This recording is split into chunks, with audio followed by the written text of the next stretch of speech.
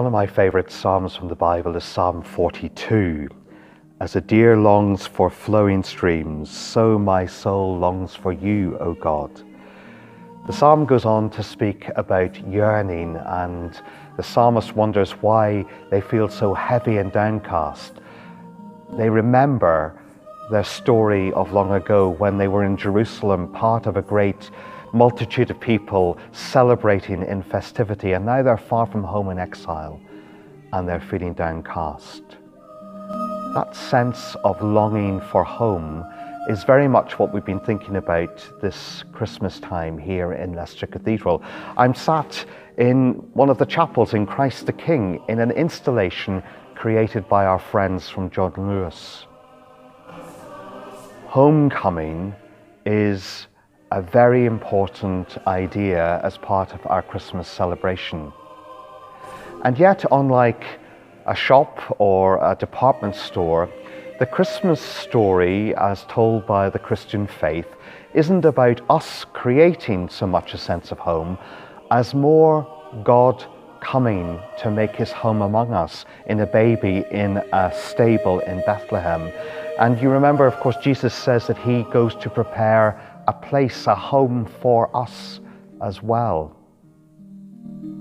Yet, day by day, as we welcome people to this cathedral, I see how, as we offer hospitality, we open a window for people to see what it might mean for God to come to them. I see it as we welcome class after class of children and they come in uncertain, but they leave feeling as if they belong. I've seen it as we've baptized an asylum seeker from Iran as they come to be part of God's family and they belong. I saw it most movingly at springtime when Her Majesty the Queen handed those Maundy pouches to people who for decades have served others. And in that moment of recognition, they feel as if they come home. I see it in our choristers who literally find their voice because they come to belong in this place.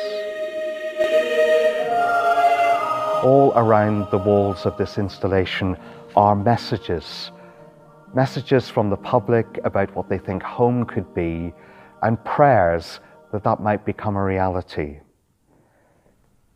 We hope and pray that this Christmas you too will know a sense of homecoming, even a sense that your worst fears can be embraced and transformed by the gift of love coming into our midst in the birth of Jesus.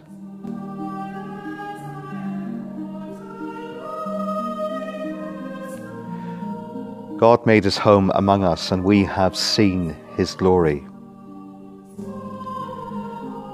Whatever your circumstances might be this Christmas, we pray that God might meet you and offer you a sense of home. A peaceful and happy Christmas to you all.